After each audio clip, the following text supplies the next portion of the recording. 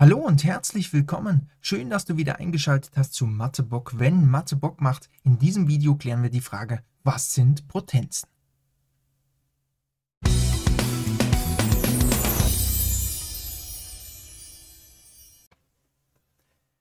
Um sich das Aufschreiben von Termen zu vereinfachen, haben Mathematiker eine Kurzschreibweise erfunden, wie man mehrere gleiche Faktoren in einem Produkt zusammenfassen kann. Anstatt zu schreiben 2 mal 2 mal 2 mal 2 mal 2 mal 2 mal 2 mal 2, kann man auch schreiben 2 hoch 8. Was heißt das? Wir haben die 2 und die wird, wie ihr hier sehen könnt, eben 8 mal mit sich selbst multipliziert.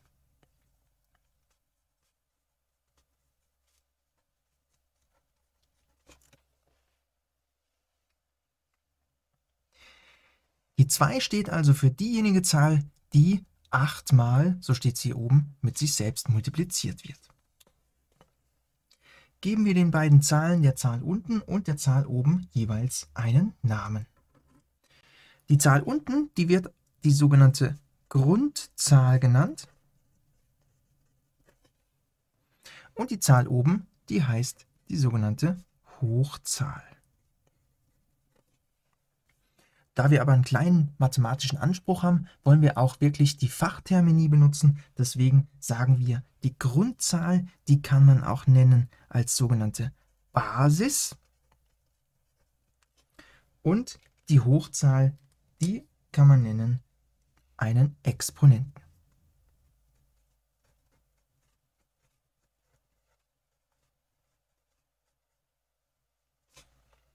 Wenn ihr bei eurer Lehrkraft positiv auffallen wollt, dann benutzt hier die Fachsprache, nämlich Basis und Exponent. Fassen wir nochmal zusammen. Die Grundzahl bzw. Basis gibt an, welcher Faktor hier mehrfach vorkommt. Hier oben war es die 2, deswegen stand die 2 in der Basis. In dem Fall wäre es die 5 und die wird so oft, wie es die Hochzahl oder der Exponent angibt, mit sich selbst multipliziert. Also in diesem Fall würde da stehen 5 mal 5 mal 5. Gehen wir direkt weiter zu den Beispielen. Als erstes haben wir 3 mal 3 mal 3 mal 3 und wir haben also die 3 als sich wiederholenden Faktor und wir zählen, wie oft die 3 vorkommt. 1, 2, 3, 4. Deswegen kommt die 4 in den Exponenten. Ausgerechnet wird es natürlich auf diese Art und Weise, also 3 mal 3 ist 9, mal 3 ist 27 und nochmal 3 ist 81. Du kannst natürlich auch hier die 3 mal 3 zusammenfassen zu 9 und hier 3 mal 3 und hast 9 mal 9, das ist auch 81. Es kann sein, dass du in einem Produkt verschiedene Faktoren hast, aber auch hier hast du mehrere, die gleich sind und dann kannst du das umschreiben zu, naja, 2 als Basis. Wie oft kommt die 2 vor? Dreimal. Und dann musst du noch eine weitere Potenz aufschreiben, nämlich mit Basis 5 und die 5 kommt zweimal vor. Und dann kannst du es wieder ausrechnen. Naja, 2 hoch 3 ist 2 mal 2 mal 2, das ist 8. Und 5 mal 5, also 5 hoch 2 ist 25. Und 8 mal 25, das sind 200.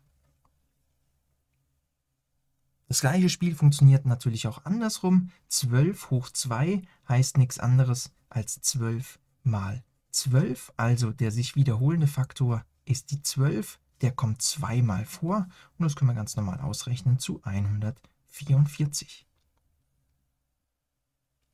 Wichtig sind Potenzen zum Beispiel auch bei Stellenzahlen, in dem Fall 10 hoch 6 bedeutet nichts anderes als 10 mal 10 mal 10 mal 10 mal 10 mal 10. Also 10 ist der sich wiederholende Faktor, 6 mal kommt er vor und das ist eine Million.